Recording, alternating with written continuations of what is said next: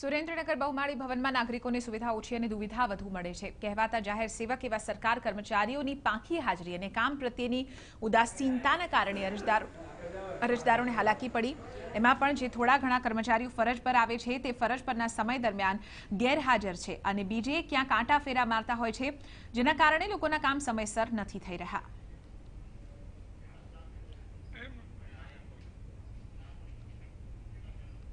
ભવનમાં ઓફિસની અંદર કચેરીમાં કોઈ પણ જાતના કામ થતા નથી.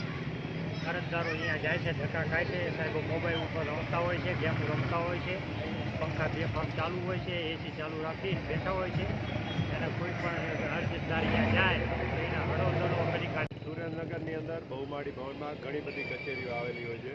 સુરેન્દ્રનગરમાં અરજદારોને અહીંયાથી બહુમાળી સુધી જવા માટે ભાડાના પણ પૈસા એટલા બધા થતા હોય છે.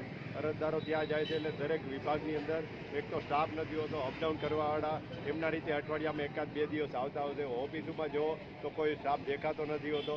અને વારંવાર અરજદારોને ધક્કા ખાવાના તો તંત્ર દ્વારા આજે આવા કર્મચારીઓ ઉપર નોટિસ કરી અને તાત્કાલિક ધોરણે પગલાં લેવા જોઈએ.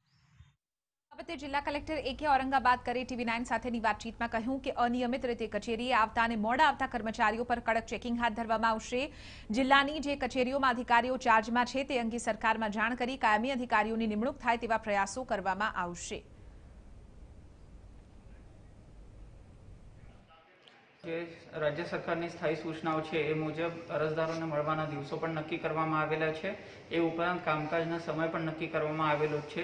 એનો ચુસ્તપણે અમલ થાય અને અરજદારોને કોઈ પણ પ્રકારે મુશ્કેલી નહીં પડે, એના માટે કલેક્ટર ઓફિસમાંથી તમામ વિભાગોનું રેન્ડમલી ચેકિંગ હાથ ધરવામાં આવશે.